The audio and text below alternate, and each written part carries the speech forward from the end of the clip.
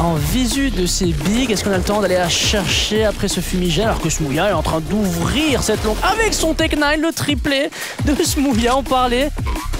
Mais oh Crims, Crims, oh. oh il ne sait absolument pas et Searson va se faire charcuter. Voilà, et donc on va aller chercher. Oui, Tizian est pris de court. Il a voulu mettre le stuff, mais Kito derrière assure. Est-ce qu'il peut faire le triplé? Oh, il a prendre le premier et le deuxième. Côté Alex, qui avait du mal. Tranquillous, néanmoins Tapson arrive à se faufiler. Moi, vraiment, d'un revirement de situation incroyable. Krims qui lâche les chevaux, qui va aller chercher. Qui est en confiance en plus.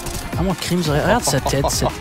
On est revenu au niveau de société avec un Famas. Sirson regarde du côté droit. Est-ce qu'il va pouvoir ajuster? Ici Non, c'est Brolin qui l'élimine. Ok, on assure. Côté Fnatic, le 16 à 3. Le perfect devra arriver. Non Alex tombe. Ah Kito en prend deux. En plus, le sniper n'est pas bonne, cela dit, mais le, le fade de smoke, lui, il est. Et Alex vient chercher un doublé sur ce BPB. Il va falloir faire les kills directement, mais la flash est super bonne et Tiziane va chercher un triple kill. Féo Le spray pour aller chercher Alex qui n'était pas naïf, il reste 10 secondes et lâche Termine On va tous courir à l'USP et c'est justement Crims. Le fade pardon de Smoke, je vais y arriver. On s'y attend. Oh là, le repositionnement de Messi est parfait. Mais oh, oh on va le cut Oh j'ai eu peur Il n'y a plus aucun respect Heureusement qu'on a mis ce pistol, dire. Attention, oh le timing parfait pour Brolan oh. Empêcher la bombe d'avancer, mais il fait tomber Tapsen. Et le deuxième, Brolan. Avec cette mollo, quoique. Oh, c'est bon, c'est défendu par Tiziane.